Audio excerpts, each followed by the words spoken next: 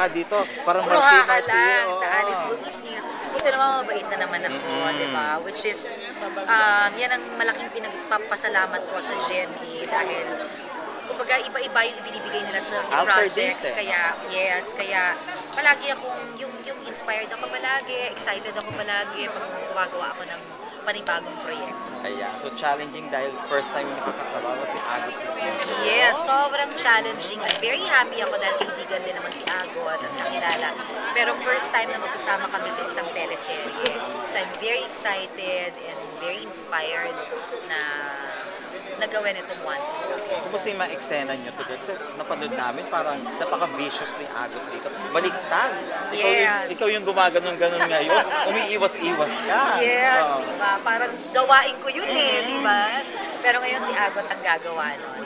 Wala, sobrang pag pinagkikwentuhan namin, happy talaga kami pareho. Kasi, kumbaga, tagisan ito, di ba? Pero hindi hindi siya competition. Yun, hindi competition. Kumbaga, suportahan ito ng, ng parehong actress. Diba? So, we're very excited. Kumusta naman yon Yung mga ganong eksena, nakikita mo na ginagawa mo, ibang tao na gumagawa pa. At ikaw eh, ano, ikaw yung Ako inaako. kasi, well, si Agot kasi napapanood ko siya. She's really very good.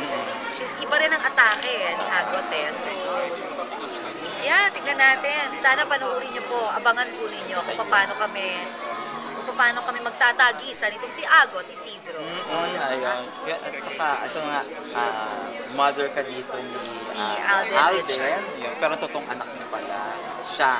Siya ang totoong anak, hindi si Luis. Hindi si Luis. Si Luis galing saan man. So excited din ako na I'm sure yung mga magkakaroon kami ng mga eksena ni Alden, ng mga drama, Mm-hmm. drama ng mga eksena. So I'm very excited kasi nakasama ko si Luis at saka si Alden sa Alakdana. Anak Pero mo si nanay Luis naman ako ni Luis. Yes, anak ko si Luis doon. Ito naman si Alden naman ang anak ko. So, eh nakikita ko kasi kay Alden talagang meron eh. Meron yung bata. Serious yung bata. Guwapo yung bata. Alam mong may talent talaga. So, excited ako for both of them. Ayun. So, kumusta naman ang chemistry nila? Ni Nung at dalawang yan. Nakita nyo naman kanina, maski yung plug shoot, di ba, ginawa namin yung plug shoot.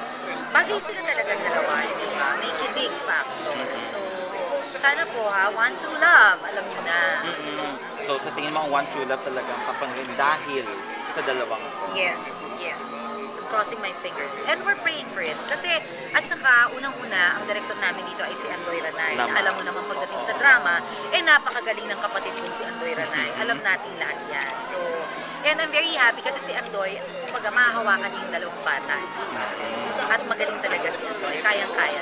At magaling din yung dalawang bata. At sa, at sa suporta ninyo, nila Agot, Yes, of course. Raymond, Palagi kami nandyan. Si Agot, ako at si Raymond. Pati si Tito Bembol Rocco, si Kuya Bembol, andyan din siya for for everyone naman. For the whole, for the project. Hello, good day to everyone. Please watch One True Love. Every day po ito, Monday to Friday po, um, sa Telebabad. Thank you so much.